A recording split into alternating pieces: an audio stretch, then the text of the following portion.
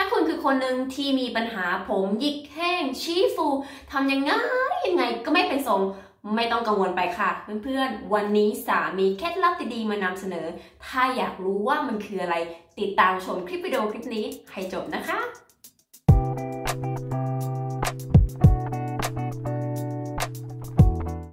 ค่ะเพื่อนๆทุกคนพบกันอีกครั้งกับสาวิตีและช่อง Let's Be Curly ซึ่งเป็นช่องทางที่จะให้ความรู้เกี่ยวกับการดูแลรักษาผมสำหรับคนผมหยิก โดยเฉพาะท่านี้เป็นครั้งแรกที่คุณเพิ่งเปิดมาเจอช่องของสายลืมคลิก subscribe กดติดตาม แล้วก็กดกระดิ่งให้สารด้วยนะคะ เพื่อที่ว่าทุกครั้งที่สาอัปโหลดคลิปวิดีโอใหม่ๆ คุณจะได้ไม่พลาดค่ะ วันนี้นะคะเราจะมาพูดกันถึงเรื่องปัญหาผมหยิกแห้งชี้ฟู เป็นปัญหาโลกแตกของคนผมหยิกเลยค่ะ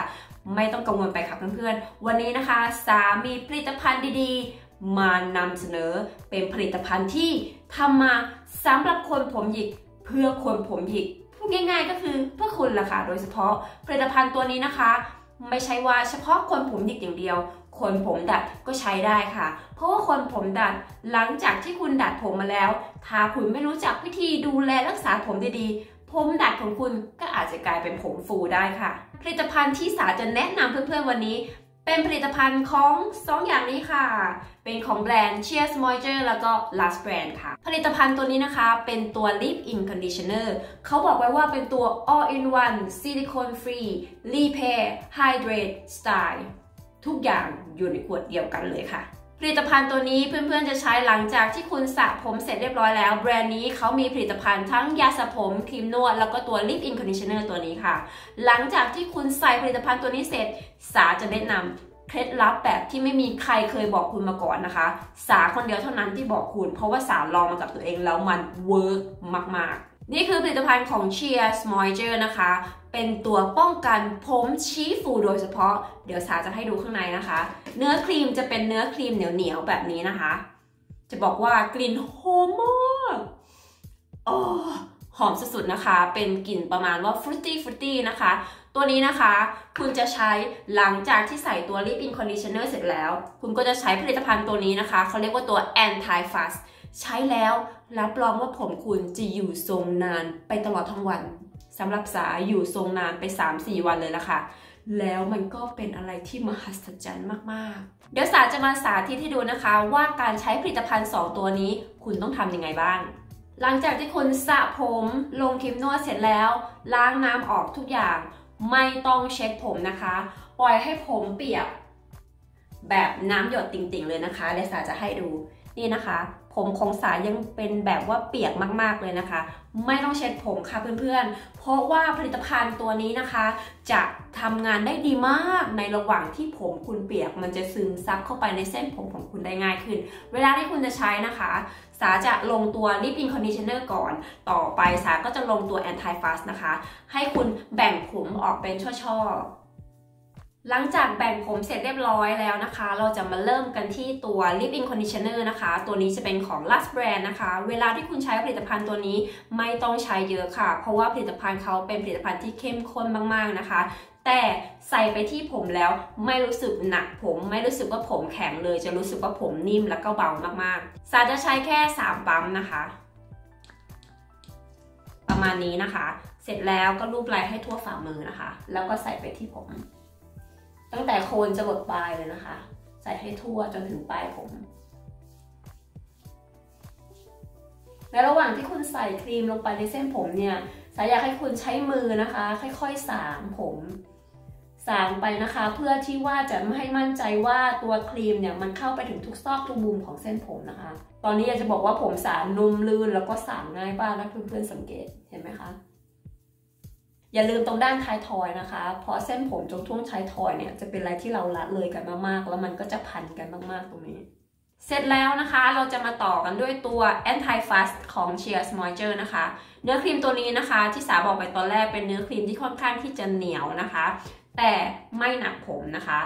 ยืนยันว่าไม่หนัก ใช้นิดเดียวพอนะคะเวลาที่เพื่อนๆใช้ แต่แค่นิดเดียวนะคะ แค่นี้เองนะคะ แล้วก็ลูบไปให้ทั่วฝ่ามือนะคะ นี่นะคะ แล้วก็ใส่ที่เส้นผม ไม่ต้องใช้เยอะค่ะ เพราะฉะนั้นถ้าคุณซื้อครีมกระปุกนี้ไปนะคะ จะบอกว่าคุณใช้ได้เกือบปีเลยค่ะ ยิ่งคุณผมสั้นนะคะ รับรองใช้ได้เป็นปีแบบสบายๆเลยค่ะ แล้วก็ใช้มือนะคะสานลงไปให้ทั่วนะคะ เพื่อให้มั่นใจว่าตัวเนื้อครีมเนี่ยมันเข้าไปถึงทุกซอกทุกมุมของเส้นผมนะคะ เสร็จแล้วนะคะให้เพื่อนๆนะคะ ช้อนผมขึ้นมาแบบนี้นะคะ แล้วก็ใช้มือค่อยๆกำกำสาไม่ได้ขยี้ผมนะคะ สาแค่แบบใช้มือกำกำเฉยๆ เพื่อเป็นการจับหลอน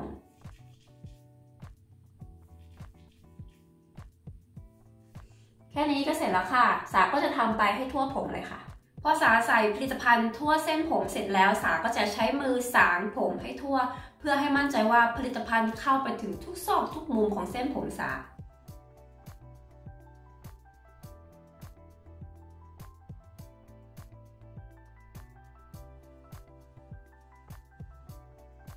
เสร็จแล้วสาก็จะทำผมเป็น upside down นะคะ เพื่อเป็นการเพิ่มวอลลุ่มให้กับผมค่ะ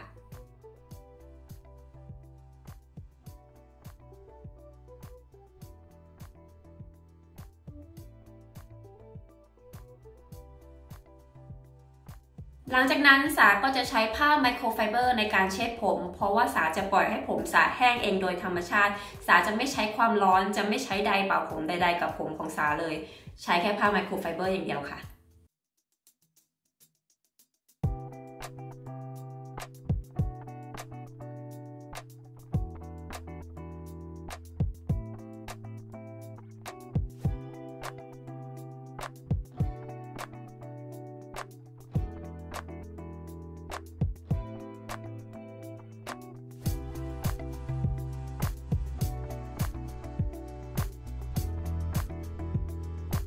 สร็จแล้วเดี๋ยวมาดูตอนที่ผมสาแห้งนะคะ ว่าผมของสาจะออกมาเป็นยังไงบ้าง และตอนนี้ผมของสาก็แห้งเป็นที่เรียบร้อยแล้วนะคะ